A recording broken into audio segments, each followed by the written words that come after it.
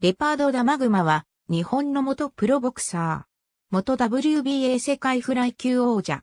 東京都千代田区段南、レパード・ダマクマジム会長。青森県出身。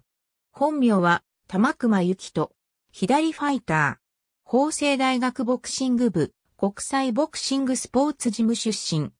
日本王座を獲得した試合では、ボディを打たれるたびにわざと苦しそうにうなり、相手の意識をボディに集中させるなど、頭脳的なボクサーである。試合の入場曲は、フィル・コリンズの Something Happened on the Way to Heaven。これがきっかけで、ボクシング番組、ダイナミック・グローブのテーマソングにもなる。柔道家で、ロス五輪及び、ソウル五輪金メダリストの斎藤仁並びに、元レスリング選手で、ロス五輪銀メダリストの赤石光生とは、親族関係である。また、母方の父は、旭日賞を受賞した秋田県鹿角市の元市、議会議長、安倍佐太郎である。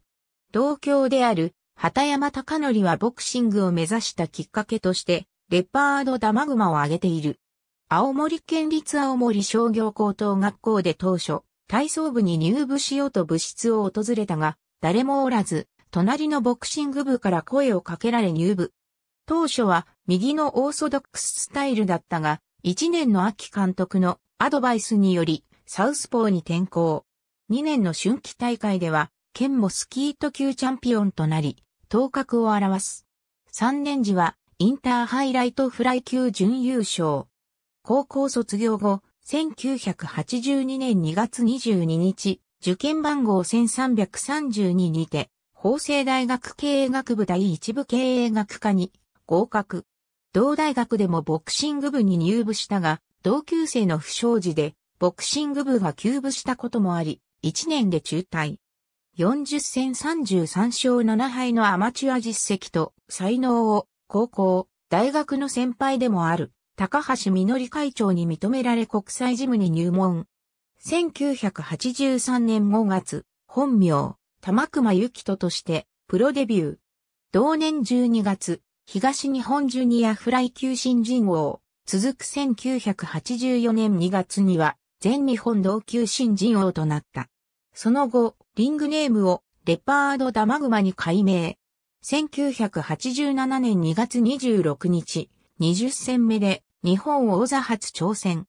西川浩二を10回判定に下し、日本フライ級王座獲得。その後、4度の防衛に成功し、1988年9月に王座返上。1989年3月5日、世界初挑戦。故郷、青森で WBC 世界フライ級王者、金広志向に挑み、12回判定負けで世界王座ダッシュならず。金戦後3試合を戦い、1990年7月29日、茨城県の水戸市民体育館において、世界最挑戦。WBA 世界フライ級1位の指名挑戦者として、同級王者、リレツーに挑む。10回、これまでダウン経験のない王者から2度のダウンを奪い、レフェリーストップによる TK を勝ち、31戦目にして世界王者となった。12月6日には故郷で初防衛戦。元王者、ヘッスロハスと対戦し、フルラウンドの死闘の末、引き分け1から0で辛くも防衛成功。この時の平均視聴率は19.2%であり、高視聴率を記録した。翌1991年3月14日、2度目の防衛戦。エルビス・アルバレスと対戦するが、12回判定負けで王座陥落。試合後、左目網膜剥離が判明し、結局この試合を最後に引退した。引退後、トレーナーとして国際ジムに泊まり、小林昌司、松浦公平等を指導。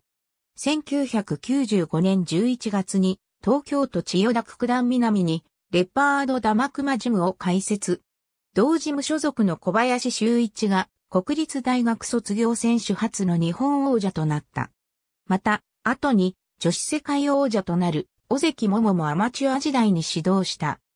ジムで更新の指導にあたる一方、現在は和島光一、渡嘉敷勝夫、飯田聡氏、戸高秀樹等の元世界王者仲間と共に袴田事件の再審を求める、要請書を最高裁判所に提出。元プロボクサーの死刑囚、袴田巌の無罪獲得のため活動を続けている。また、テレビ、ラジオ、映画など多方面にて活躍している。ありがとうございます。